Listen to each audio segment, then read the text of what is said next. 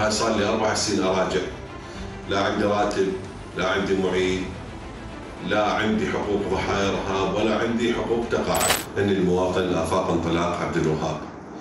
من ضحايا الإرهاب تمت إصابتي بالعام 2006 وكنت في ذيك الفترة منتسب بحماية الكهرباء.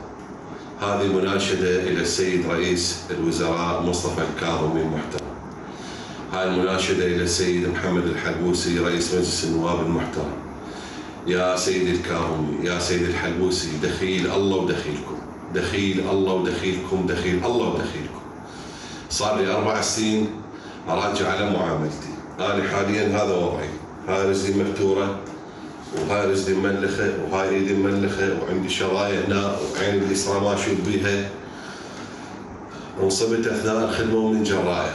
وعندي قرار لجنه ثلاثيه واستمريت بالدوام إلى حد 2015 بال 2015 تهجرت. سافرت خارج العراق من رجعت دائرتي آه، جعلتني مستقيل كون الاجازه خلصت مباشرة.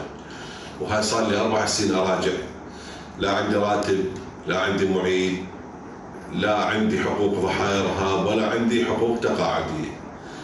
ودائره ذبني على دائرة. يا سيدي الكاظمي دخيل الله ودخيل يا سيدي محمد الحلوسي دخيل الله ودخيلك دخيلكم دخيلكم. يعني هذا اللي يضحي للعراق هيك تالي يذب بالزبالة. والله قوة نعيش أنا هسه عمري 48 سنة ودا أشتغل سائق تاكسي. ويوم أكو يوم ماكو وين نعطي وجهنا؟ أعرف وضع البلد صعب.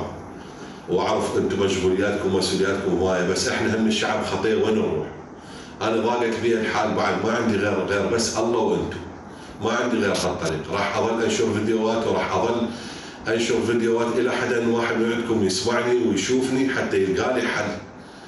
أنا متزوج وعندي أربع أولاد. قاعد البيت إيجار لا عندي بيت لا عندي شغل لا عندي عمل. ووضعي الصحي تعبان. أنا ما أريد شيء بس ارجع لوظيفتي. وقرار اللي أنا مشمول به قرار رقم 20 مال ضحايا الإرهاب بي فقرة نص على إنه أنا أرجع. دائرتي موافقة إنه أرجع.